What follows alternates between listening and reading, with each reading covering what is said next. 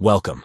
In today's video, we're diving into a handy feature of Discord that makes finding your files a breeze.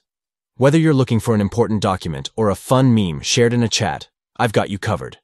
Let's get started. First, open the Discord app on your Android device.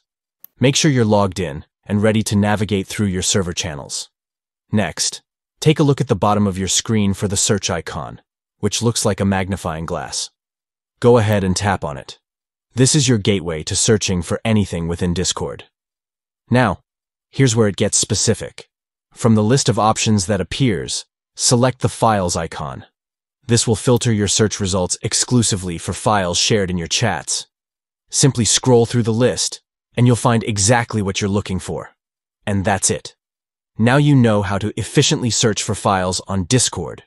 Whether you need to revisit an important file or just want to relive a funny moment, this method is quick and easy. Thanks for watching.